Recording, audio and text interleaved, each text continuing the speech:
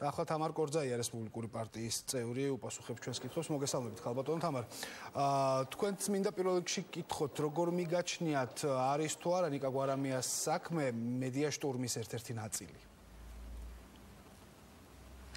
მოგესალმებით. პირველ რიგში დიდი მადლობა მოწვევისთვის და მე უბრალოდ მინდა შევაფასო ბატონ თალაკუაძის დღევანდელი განცხადება მისივე სიტყვებით რომ შევაფასო მისი გამოსვლა მისი საუბარი და განცხადება ნამდვილად გავს ჟღალ მასლაც. ეს ისე ხუმრობით, მაგრამ სინამდვილეში ძალიან გაურკვეველია, რატო გააკეთა მან ეს განცხადება. ამას ერთგვარი, ასე ვთქვათ, მინიშნების ფორმა აქვს, თუ ირიბი დავალების ფორმა აქვს პროკურატურის მიმართ, რომ დაიწყონ გამოძიება სხვა მიმართულებით, იმიტომ რომ ერთი სიტყვით არ უხსენებიათ გამოძიების იმ სტადიასთან დაკავშირებით, თუ როგორ მოხდა ეს ჩანაწერი უცხოპირების ხელში, ანუ ვინ მოიპარა ეს ჩანაწერი დახურული ქსელიდან და საერთოდ როგორ მიდის ამ მონაწილში გამოძიება. თავარი ის არის, რომ ავთენტურობა დაადგინეს და ასე შემდეგ და ასე შემდეგ. პრობლემა ამაშია, ანუ ნიკა გვარამიას დაპატიმრება ამათი თავარი მიზანი?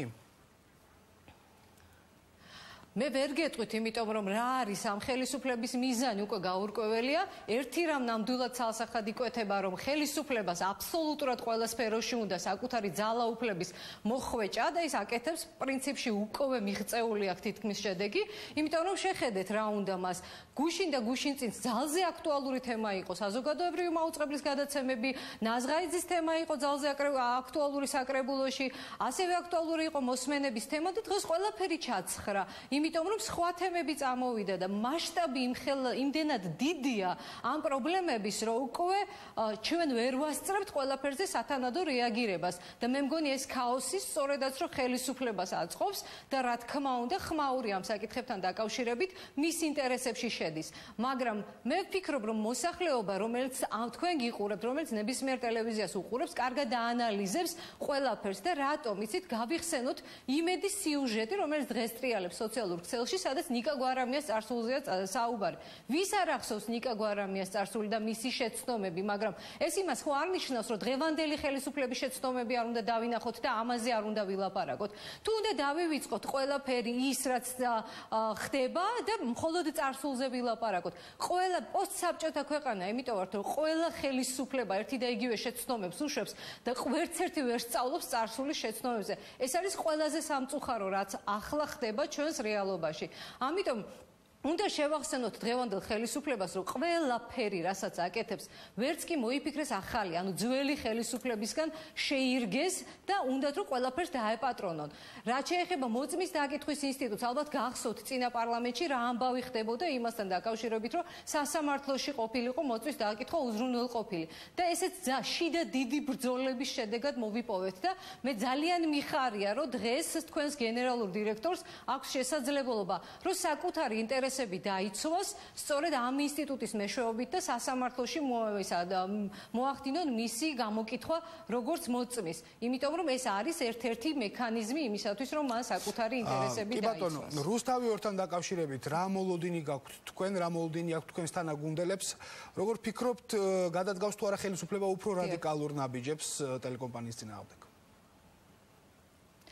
თუ გავითვალისწინებთ იმას რა მოვლენები ვითარდება და რა მდგომარეობა ის რომ სასამართლოს მიმართ ნდობა არ არსებობს ის რომ საკონსტიტუციო სასამართლოს ბოლო წევრი უშუალოდ პარტიული ნიშნით დაინიშნა ის რომ ყოველდღიურად ვრცელდება ინფორმაცია შანტაჟის პრელობის დაკვეთის შესახებ. ასევე თქვენ წინა მან რა ქვია სტუმარმა ახსენა რომ ადამიანი რომელმაც ტერაქტი მოაწყო შუა ქალაქში ის გაანთავისუფლეს და თუ ამ ყველაფერს ერთად თუ შევკრიბავთ ჩვენ ნამდვილად არ შეგვიძლია ვიწინასწარმეტყოთ როგორ განვითარდება მოვლენები და რა მდგომარეობაში აღმოჩნდება რუსთავი 2, მაგრამ რა თქმა უნდა მოლოდინი არის იმის ისეთი რომ მათ ეს აწყობთ ამ შემთხვევაში, მაგრამ სიტუაცია საკმაოდ იძაბება და აქედან გამომდინარე სანამდე გაწוდება მათი თავხედობა ეს უკვე არ შეიძლება ამის ასე ღიად და ნათლად დანახვა სამომავლოდ, უბრალოდ მე იმის თქმა მინდა, რომ ეს ხელისუფლება ხვალდაზეგ აუცილებლად გახდება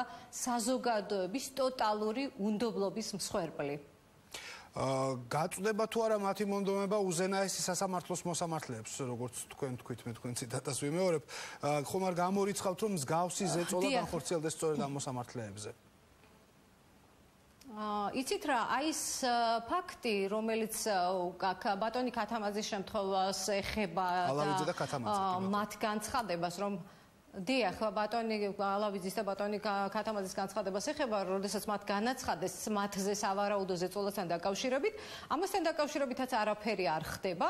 მე თითქოს ბატონი საყვარელიძის მიერ იყო მოწერილი წერილები და ასე შემდეგ და ასე შემდეგ, მაგრამ ამაზეც გამოძიება არაფერს არ გვეუბნება. ამიტომ ისევ და ისევ, რა თქმა უნდა, შეიძლება ვთქვათ, რომ ხვალ რა შეიძლება გამოვარდეს და რითის ეცდებიან, ასე ვთქვათ, მოსახლეობის ასე ვთქვათ, ზაკვალის აბნევას ჩვენ ვერ ვიტყვით, მაგრამ ერთი რამ ვიცით ცხადად რომ არც ერთ საქმესთან დაკავშირებით ხელისუფლებას მკაფიო ნათელი პასუხი არ გაუწია. ანუ ისეთი არგუმენტები არ მოუყვანია რომელზეც მოსახლეობას შეკითხვები არ ექნება. კი ბატონო და ბოლოს მინდა გკითხოთ იზიარებთ თუ არა დამოკიდებულებას რომ რუსთავი 2-ის და სიტყვის თავისუფლების დაცვა დღეს უკვე აქტიური მოქმედებებით არის საჭირო და ამისთვის ქუჩაში გამოსვლაც შეიძლება არ იყოს გამორიცხული. თქვენ არ ხართ საკოორდინაციო საბჭოს წევრი თუ არ ვწდები რომელიც შეიქმნა ბოლო დღეებში ჩვენ არ ვართ ჩვენ ჩვენ ვართ რუსთავიორის გვერდით ჩვენი საქმიანობა ამაზე ნამდვილად მეტყველებს მაგრამ მე იმედი მაქვს რომ ეს საჭიროება არ დადგება და ხელისუფლება მოვაგონს. კვირას მოხვალთ აქციაზე? შევხედავთ როგორ განვითარდება ხვალდაზეგ მოვლენები. ჩვენ ვართ რუსთავიორის გვერდით. ხვალდაზეგ რაზეა დამოკიდებული ანუ გვარამიას დააპატიმრებენ თუ არა მე იმედი მაქვს რომ ეს არ მოხდება.